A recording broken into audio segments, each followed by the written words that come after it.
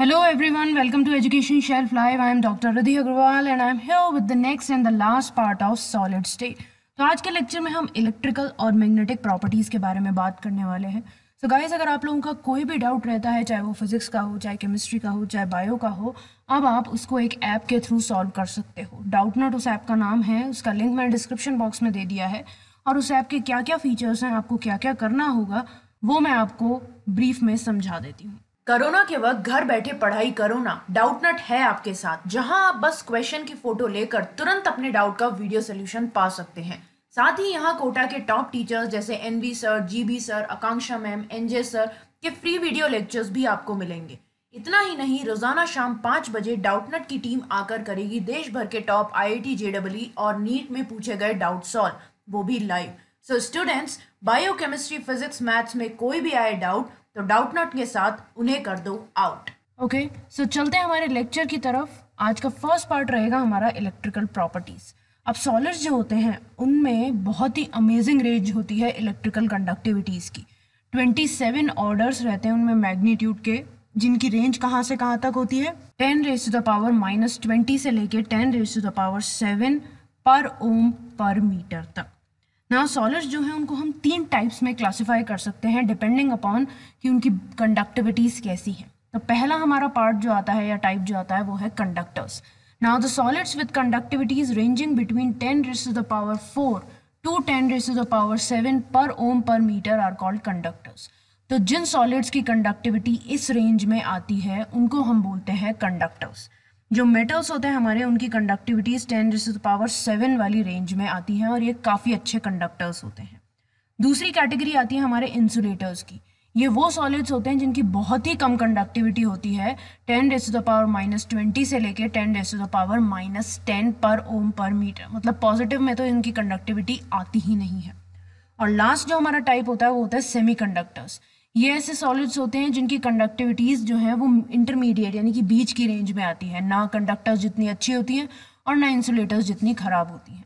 तो इनकी कंडक्टिविटी रहती है ten raise the power minus six से लेके ten raise the power four per ohm per metre तक।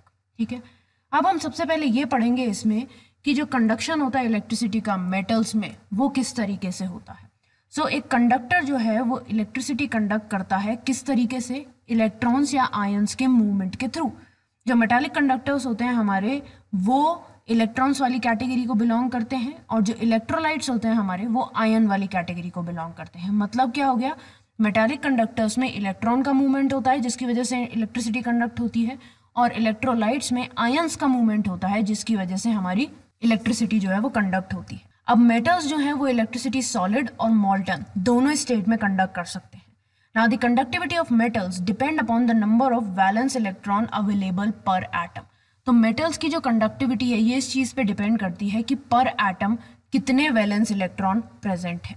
Now the atomic orbitals of metal atoms form molecular orbitals which are so close in energy to each other as to form a band अब जो हमारी atomic orbitals हैं metal atoms की, वो molecular orbitals बनाती हैं। और वो मॉलिकुलर ऑर्बिटल्स इतनी करीब होती हैं एनर्जी में कि वो एक दूसरे से मिलके बैंड बना लेती हैं।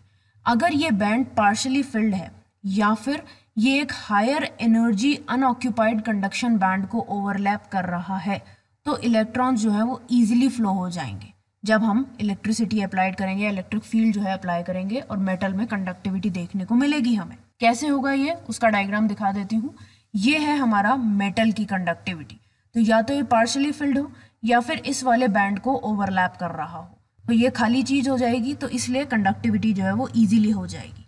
ना if the gap between filled valence band and the next higher unoccupied band is large electrons can not jump to it and such a substance has very small conductivity and it behave as an insulator लेकिन अगर जो हमारा field band है और M T band है, उसके बीच में बहुत ज़्यादा गैप है तो जो हमारे इलेक्ट्रॉन्स हैं वो जंप नहीं कर पाएँगे। और इस तरह के जो हमारे मेटल्स होंगे या इस तरह के जो सब्सटेंसेस होंगे हमारे, उनकी कंडक्टिविटी बहुत कम होगी और वो इंसुलेटर की तरह बिहेव करेंगे। ठीक है? अब आते हैं हमारे सेमी कंडक्टर्स में। तो सेमी कंडक्टर्स के केस में जो गैप होता है वैलेंस बैंड और कंडक्शन बैंड के बीच में, वो होता है। मेटल्स की तरह ओवरलैप नहीं करते हैं गैप होता है, लेकिन बहुत ही कम होता है। तो इसलिए कुछ इलेक्ट्रॉन्स जो हैं, वो कंडक्शन बैंड पे जंप कर जाते हैं और इसीलिए उनमें कंडक्टिविटी देखने को मिलती है, हमारे जो सेमी कंडक्टर्स हैं, उनमें। Now, electrical conductivity of semiconductors increases with rise in temperature since more electrons can jump to the conduction band. अब जैसे जैसे हम किसी सेमीकंडक्टर का टेम्परेचर बढ़ाएँगे तो जो इलेक्ट्रॉन्स हैं वो एक्साइट होंगे और वो ज़्यादा जंप करेंगे तो इसी वजह से उनकी कंडक्टिविटी जो है वो भी बढ़ती जाएगी टेम्परेचर के साथ साथ। अब कुछ सब्सटेंसेस होते हैं जैसे सिलिकॉन है जर्मीनियम है वो इस टाइप का बिहेवियर दिखाते हैं। इसीलिए हम उन्हें इंट्रेंसिक सेमीकंडक्टर्स बोलते हैं। Now the conductivity of these intrinsic semiconductors is too low to be of practical use अब इनकी कंडक्टिविटी इतनी कम होती है कि हम प्रैक्टिकल यूसेज नहीं ले सकते उसका। इनकी कंडक्टिविटी को हम इंक्रीज कैसे कर सकते हैं? अगर हम कुछ अमाउंट की सूटेबल इम्प्योरिटी इसमें ऐड कर दें तो हम इनकी कंडक्टिविटी बढ़ा देते हैं। और ये जो इम्प्योरिटी ऐड करने का प्रोसीजर होता है, उसको हम बोलते हैं डोपिंग तो डोपिंग से हम इनमें इम्प्योरिटीज ऐड करते हैं। सो डोपिंग में हम करते क्या? है it can be done with an impurity which is electron rich और electron deficient as compare to the intrinsic semiconductor like silicon और जर्मेनियम तो जैसे सिलिकॉन या जर्मेनियम वाला सेमीकंडक्टर है हमारे पास, उसमें हम या तो इलेक्ट्रॉन रिच या फिर इलेक्ट्रॉन डेफिशिएंट इम्प्योरिटी जो है, वो डाल देंगे। ऐसी इम्प्योरिटीज जो है, वो इलेक्ट्रॉनिक डिफेक्ट्स क्रिएट करती हैं उसमें, जिसकी वजह से उनमें जो इलेक्ट्रिकल कंडक्टिविटी है, वो इंक्रीज हो जाती है। अभी हम दोनों तरह की इम्प्योरिटीज पढ़ने वाले हैं। पहली है हमारी इलेक्ट्रॉन रिच इम्प्योरिटीज तो सिलिकॉन और जर्मेनियम जो है, वो ग्रुप 14 को बिलोंग करते हैं पीरियोडिक टेबल की हम सबको पता है। और इनमें वैलेंस इलेक्ट्रॉन कितने होंगे? ऑब्वियसली चार वैलेंस इलेक्ट्रॉन होंगे। अब इनके क्रिस्टल में क्या होता है? हर एक एटम जो है, वो चार कोवेलेंट बॉन्ड बना लेता है अपने नेबर के साथ। देखो, जैसे ये यहाँ पे ये वाला हमने एक एटम ले लिया तो ये एक बॉन्ड इसने यहाँ बना लिया, एक इसके साथ बना लिया, एक इसके साथ बना लिया और एक इसके साथ बना लिया। तो इस तरीके से चार बॉन्ड्स बना लिए। अब अगर हम इसे किसी ग्रुप 15 एलिमेंट से डोप कराते हैं, जिसमें पाँच वैलेंस इलेक्ट्रॉन हैं, जैसे फॉस्फोरस आर्सेनिक तो वो कुछ लेटाइज साइट्स को ऑक्यूपाई कर लेंगे सिलिकॉन या जर्मेनियम में, जैसे कि यहाँ पे इसने ऑक्यूपाई कर लिया एएस ने, इस तरीके से। अब ये जो एएस है, इसके पास पाँच वैलेंस इलेक्ट्रॉन है, जिसमें से चार तो यूज़ हो जाएँगे, क्योंकि ये इन चारों के साथ बॉन्ड बना लेगा, लेकिन एक जो है वो बच जाएगा। तो जो फिफ्थ इलेक्ट्रॉन है, वो एक्स्ट्रा हो जाता है और वो डीलोकलाइज होने लगता है। और यही डीलोकलाइज इलेक्ट्रॉन जो है, वो डोप्ड सिलिकॉन या जर्मेनियम की कंडक्टिविटी को इंक्रीज कर देते हैं Now here the increase in conductivity is due to negatively charged electron. Hence silicon doped with electron rich impurity is called n-type semiconductor. अब ये जो इंक्रीज आती है कंडक्टिविटी में, ये किस वजह से होती है नेगेटिवली चार्ज इलेक्ट्रॉन की वजह से होती है इसीलिए जब भी हम सिलिकॉन को इलेक्ट्रॉन रिच इम्प्योरिटी के साथ डोप करते हैं तो उसको हम बोलते हैं एन टाइप सेमीकंडक्टर यानी कि नेगेटिव ठीक है? नेक्स्ट जो पार्ट है हमारा वो है इलेक्ट्रॉन डेफिसिट इम्प्योरिटीज तो सिलिकॉन और जर्मेनियम जो है उसको हम ग्रुप थर्टीन एलिमेंट जैसे कि हमने बोरॉन ले लिया एल्यूमिनियम ले लिया गैलियम ले लिया, इससे भी डोप करा सकते हैं, जिसमें सिर्फ़ तीन वैलेंस इलेक्ट्रॉन प्रेजेंट हो। तो the place where the fourth valence electron is missing is called electron hole और इलेक्ट्रॉन वैकेंसी अब जैसे वो भी लटाइस साइट ऑक्यूपाई कर लेगा, लेकिन उसके पास तो तीन ही इलेक्ट्रॉन है तो एक इलेक्ट्रॉन की डेफिशिएंसी हो गई इसमें। तो ऐसी जगह जहाँ पे फोर्थ इलेक्ट्रॉन हमारा मिसिंग रहेगा, उसको हम बोलेंगे इलेक्ट्रॉन होल या electron vacancy now an electron from a neighbouring atom can come and fill the electron hole but in doing so it would leave an electron hole at its original position अब एक electron कहीं और से आके इस whole को भर तो सकता है, लेकिन जहाँ से वो आएगा, जैसे सपोज़ करो ये वाला इलेक्ट्रॉन यहाँ से आके यहाँ पर फिट हो गया, लेकिन फिर वो यहाँ अपना इलेक्ट्रॉन होल छोड़ देगा तो वही चीज़ है। If it happens, it would appear as if the electron hole has moved in the direction opposite to that of the electron that filled it. तो इससे ये appear होगा कि जो electron hole है वो opposite direction में move किया है to that of electron that filled it. मतलब जिस electron ने उसको fill किया है उससे opposite direction में electron hole move कर रहा है. Now under the influence of electric field, electrons would move towards the positively charged plate through electronic holes, but it would appear as if electron holes are positively charged and are moving towards negatively charge plate तो electric field के influence में क्या होगा? जो electrons हैं, वो positively charge plate की तरफ़ जाएँगे इलेक्ट्रॉन होल्स के थ्रू लेकिन लगेगा क्या हमें कि इलेक्ट्रॉन होल्स जो है, वो पॉजिटिवली चार्ज हैं और वो नेगेटिवली चार्ज प्लेट की तरफ़ जा रहे हैं. तो इस टाइप के सेमीकंडक्टर को हम बोलते हैं पी टाइप सेमीकंडक्टर तो हमारे दो टाइप के सेमीकंडक्टर हो गए एन टाइप और पी टाइप अब ये एन टाइप और पी टाइप सेमीकंडक्टर्स के काम क्या है? इनका एप्लीकेशन क्या है? वो पढ़ लेते हैं. तो वेरियस कॉम्बिनेशन आते हैं एन टाइप और पी टाइप सेमीकंडक्टर्स के, जिसके थ्रू हम अलग अलग तरह के इलेक्ट्रॉनिक कंपोनेंट्स बना सकते हैं। जैसे पहला कंपोनेंट है डायोड डायोड जो है it is a combination of N type and P type semiconductors and is used as a rectifier तो डायोड जो है, वो एन टाइप और पी टाइप सेमीकंडक्टर का कॉम्बिनेशन होता है और रेक्टिफायर की तरह काम में आता है। ऐसे ही जो ट्रांजिस्टर्स होते हैं हमारे, उनको हम कैसे बनाते हैं? एक टाइप के सेमीकंडक्टर को हम बीच में रख देंगे और उसके दोनों तरफ़ दूसरा टाइप का सेमीकंडक्टर लगा देंगे। यानी कि sandwiching a layer of one type of semiconductor between two layers of the other type of semiconductor जैसे ऊपर हमने एन रख दिया, फिर बीच में पी फिर एन या फिर पी रख दिया ऊपर, बीच में एन पी तो ये एन जो है और इस केस में पी जो है, वो सैंडविच हो जाएँगे। तो ट्रांजिस्टर्स इस तरह से बनाए जाते हैं। Now NPN and PNP type of transistors are use to detect और एम्पलीफाई रेडियो और ऑडियो सिग्नल तो ये जो ट्रांजिस्टर्स हैं, किस काम में आते हैं? जब हमें रेडियो या ऑडियो सिग्नल्स को डिटेक्ट या एम्पलीफाई करना है तो ठीक है? Now the solar cell is an efficient photo diode use for conversion of light energy into electrical energy अब जो सोलर सेल है हमारी, वो एक बहुत ही अच्छी फ़ोटो डायोड है, जिससे हम लाइट एनर्जी को इलेक्ट्रिकल एनर्जी में कन्वर्ट कर सकते हैं।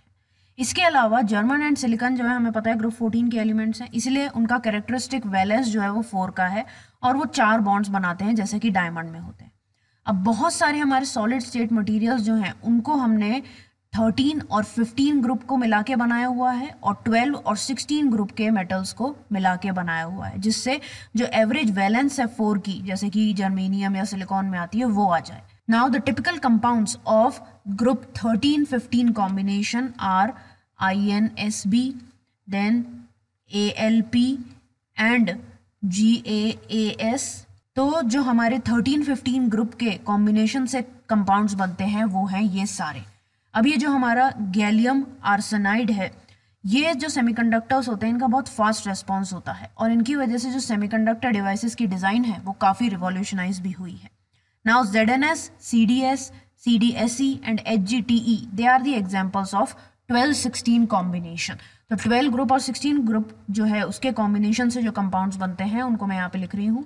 Z N S C D S C D S E H G T तो ये हैं वो सारे कंपाउंड्स जो ट्वेल्व और सिक्सटीन ग्रुप के कॉम्बिनेशन से बनते हैं। अब इन कंपाउंड्स में जो बॉन्ड्स हैं, वो बहुत ज़्यादा परफेक्टली कोवेलेंट नहीं होते और आयनिक करेक्टर जो है इनका, वो डिपेंड करता है कि जो दो एटम्स इन्वॉल्व हैं तो जो दो एलिमेंट्स इन्वॉल्व है हमारे, उनकी इलेक्ट्रोनेगेटिविटी क्या है। नाउ जो ट्रांजिशन मेटल ऑक्साइड्स होती हैं, वो काफ़ी अच्छी इलेक्ट्रिकल प्रॉपर्टीज़ दिखाती हैं हमें। जैसे टी आई ओ हो गई सी आर ओ टू हो गई आर हो गई तो ये सब मेटल्स की तरह बिहेव करती हैं। अब जो हमारी आर ई ओ थ्री है, यानी कि rhenium oxide is like metallic copper in its conductivity and appearance तो ये रीनियम ऑक्साइड जो है, वो अपने अपियरेंस में और अपनी कंडक्टिविटी में कॉपर से मैच करती है, बिल्कुल मेटालिक कॉपर से। Then certain other oxides like VO, VO2, VO3 and TiO3 they show metallic or insulating properties depending upon temperature. तो कुछ ऐसी भी ऑक्साइड्स हैं जो कि टेम्परेचर के बेसिस पे अपनी मेटालिक या इंसुलेटिंग प्रॉपर्टीज़ शो करती हैं। ठीक है? हो गया क्लियर तो ये था हमारा इलेक्ट्रिकल प्रॉपर्टीज़ नेक्स्ट जो हमारा टॉपिक है आज का मेन वो है मैग्नेटिक प्रॉपर्टीज़ तो हर एक सब्सटेंस जो होता है उसमें कुछ ना कुछ मैग्नेटिक प्रॉपर्टी एसोसिएटेड होती है उससे। Now the origin of these properties lies in the electron और इन प्रॉपर्टीज़ का ओरिजिन जो है, वो भी इलेक्ट्रॉन पे ही डिपेंड करता है। हर एक इलेक्ट्रॉन जो होता है एक एटम में, वो एक छोटे मैग्नेट की तरह बिहेव करता है। उसका जो मैग्नेटिक मूवमेंट है, वो दो टाइप के मोशन से बन सकता है। पहला orbital motion around the nucleus मतलब न्यूक्लियस के अराउंड जब वो घूम रहा है, जैसा कि इसमें है।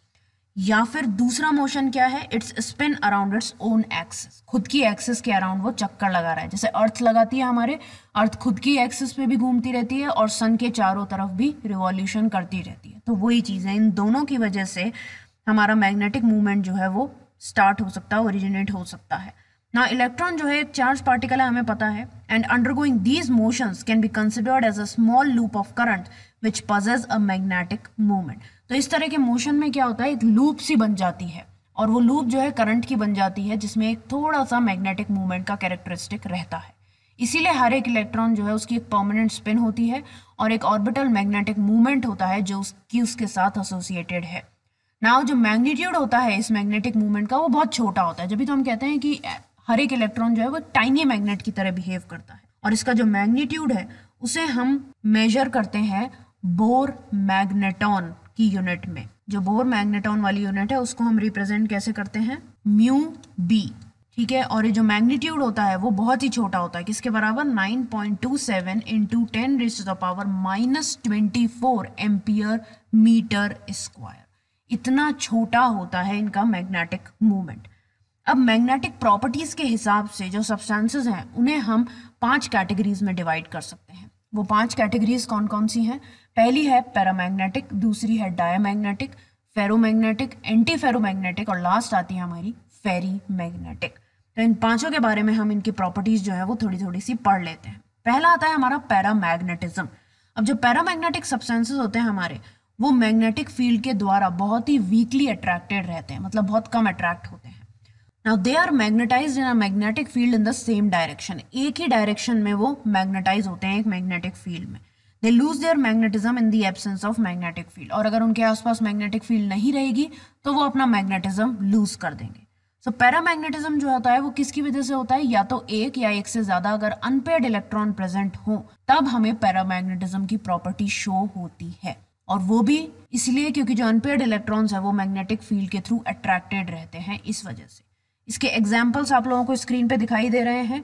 Dioxygen C U two plus F E three plus C R three plus ये सब पैरामैग्नेटिक कंपाउंड्स हैं हमारे। दूसरी जो कैटेगरी आती है वो है डायमैग्नेटिज्म तो डायमैग्नेटिक सब्सटेंसेस जो होते हैं they are weakly repelled by a magnetic field so जो डायमैग्नेटिक सब्सटेंसेस होते हैं they are weakly repelled by a magnetic field तो पैरामैग्नेटिक सब्सटेंसेस तो वीकली अट्रैक्ट हो रहे थे, लेकिन ये जो है डायमैग्नेटिक सब्सटेंसेस हमारे, इनको मैग्नेटिक फ़ील्ड थोड़ा सा रिपेल करती है। एग्जाम्पल्स हैं H two O N A C L C six H six यानी कि वाटर सॉल्ट और हमारा बेंजीन ये सब एग्ज़ाम्पल हैं डायमैग्नेटिक कंपाउंड्स के। ये बहुत ही वीकली मैग्नेटाइज होते हैं मैग्नेटिक फ़ील्ड में और ये ऑपोजिट डायरेक्शन में मैग्नेटाइज होते हैं, एक डायरेक्शन में नहीं। Now diamagnetism is shown by those substances in which all the electrons are paired and there is no unpaired electron तो ये इंपॉर्टेंट चीज़ है ध्यान रखने के लिए कि डायमैग्नेटिक प्रॉपर्टी ऐसे कंपाउंड या ऐसे सब्सटेंसेस शो करते हैं जिनमें कोई भी अनपेयर्ड या लोन पेयर नहीं हो इलेक्ट्रॉन का। सारे के सारे इलेक्ट्रॉन्स जो है वो पेयर्ड हो। सो so, पेयरिंग की वजह से क्या होता है? जो मैग्नेटिक मूवमेंट है वो कैंसिल हो जाता है और इसीलिए इनमें मैग्नेटिक कैरेक्टर देखने को नहीं मिलता है। ठीक है? तीसरी कैटेगरी जो आती है वो है फेरोमैग्नेटिज्म अब कुछ ऐसे सब्सटेंसेस होते हैं, जैसे आयरन हो गया कोबाल्ट हो गया निकल हो गया सी आर ओ टू है गेडोलिनियम है, वो बहुत ही स्ट्रॉन्ग तरीके से मैग्नेटिक फ़ील्ड उनको अट्रैक्ट करती है। तो इस तरह के सब्सटेंसेस को हम बोलते हैं फेरोमैग्नेटिक सब्सटेंसेस स्ट्रॉन्ग अट्रैक्शन तो होता ही है इनका। इसके अलावा ये सब्सटेंस जो है, वो परमानेंटली मैग्नेटाइज भी किए जा सकते हैं।